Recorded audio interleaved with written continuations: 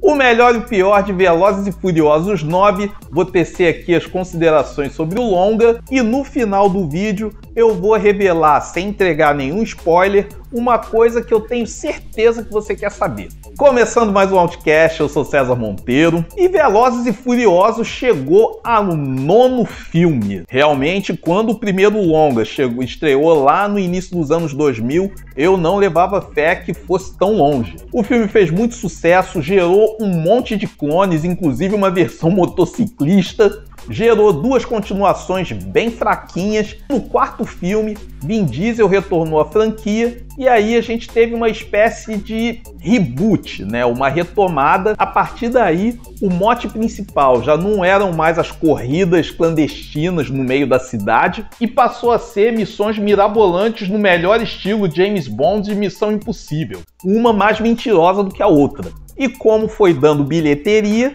estamos aqui no nono episódio. Na trama de F9, Dom Toreto está aposentado das aventuras tranquilão criando seu filho Brian com a sua esposa Letty, mas aí chega Roman, Tej e Ramsey com as notícias de que Mr. Nobody, que capturou a Cypher, teve o seu avião atacado e caiu na América Central. Procurando o avião, a equipe encontra parte de um dispositivo chamado Ares, que pode invadir qualquer sistema bélico no mundo. Mas aí eles são atacados por um exército liderado por Jacob, que rouba o dispositivo. Dom, que tem laços com Jacob, relutantemente aceita a missão para salvar o mundo da ameaça.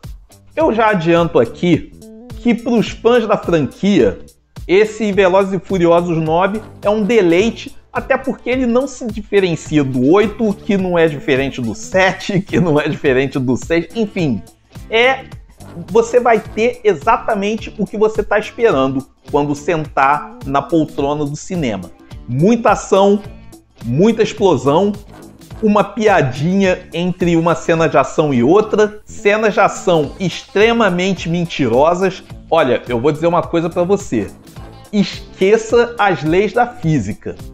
Trabalhe muito bem a sua suspensão da descrença, porque você vai precisar dela. A trama, pelo que vocês puderam ver pela sinopse, é, não, não, não, prima muito pela verossimilhança. Ah, poxa, mas é Velozes e Furiosos. E realmente, a cada filme eles vão se superando na arte de esquecer o crível. Mas justamente a suspensão da descrença, ela tem um limite chega uma hora que você começa a se desconectar da trama, porque tá tudo muito mentiroso. E aí a sua experiência é comprometida. Justin Lin tá de volta à direção e tá fazendo ali o feijão com arroz dele, nada muito inovador. Dá para sentir que ele tá bastante à vontade, afinal de contas já é o quinto Velozes que ele dirige. E o roteiro também é dele, que ele assina junto com o Daniel Casey. Vin Diesel, enfim, a franquia é dele mesmo. Não dá para dizer que ele tem uma grande atuação, porque ele nunca teve e nunca terá, mas ele é aquele tipo de ator que compensa a falta de dotes dramáticos com um baita de um carisma. John Cena tá muito canastrão, mas a gente até perdoa porque o personagem pede. É um personagem que pede uma atuação canastrona, isso é verdade.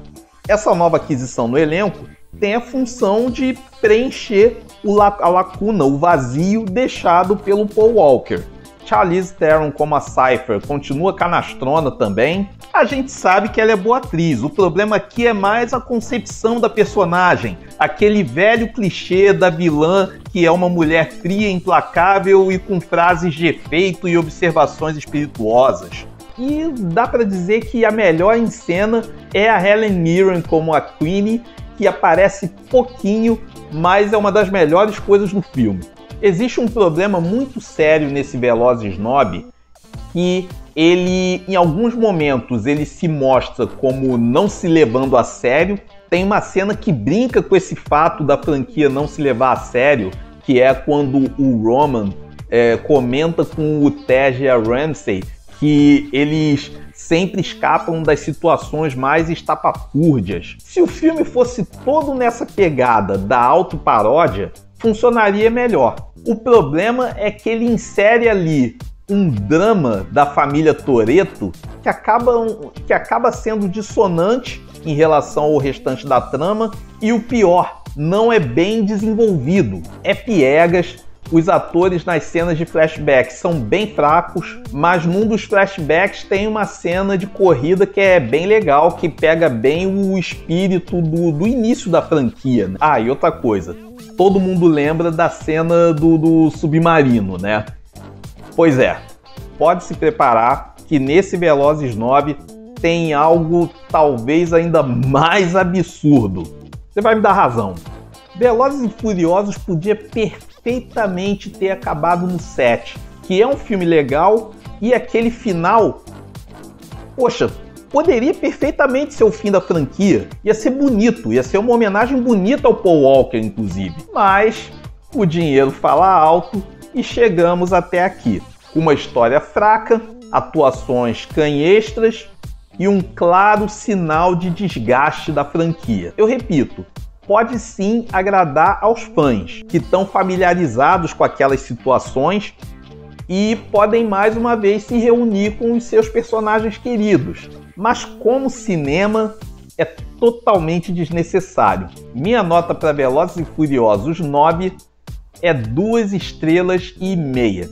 Agora sim, eu vou contar o que eu disse que ia revelar, que eu sei que você quer saber, que é se esse filme dá a entender que a franquia vai continuar, se vai ter um 10, um 11. Não vou dar nenhum spoiler, não vou contar o final nem nada, mas se ainda assim você achar que o que eu vou contar vai estragar a sua experiência, ok, para o vídeo por aqui. Já se você não vê problema nenhum, vamos lá. O Velozes 8 né, ele até pelo título Fate of the Furious, né, ele, pô, Destino dos Furiosos, pô, parecia que seria o último, né, e não foi. No caso desse aqui, não tem nada que indique que esse é o último, muito pelo contrário, dá a entender que a franquia vai continuar mesmo, inclusive no IMDb, que é o o, o, site que tem todos os dados de ficha técnica de todos os filmes feitos na história, ele já consta lá na, na biografia do, do, Justin Lin, já consta Velozes e Furiosos 10. Tá ali entre parênteses rumor, mas assim, onde a fumaça fogo. Vai ter o 10, vai ter o 11 e vamos embora. Enquanto estiver dando grana, vai ter Velozes e Furiosos sim quer você queira ou não. Agora quero saber de você. O que, que você achou de Velozes e Furiosos 9, você que já viu? Deixa aqui nos comentários. Tá chegando agora no canal? Se inscreve para não perder os próximos vídeos. Segue a gente nas redes sociais, tem coisa bem legal lá. E deixa aquele like para fortalecer aqui o vídeo. Muito obrigado pela audiência e até o próximo.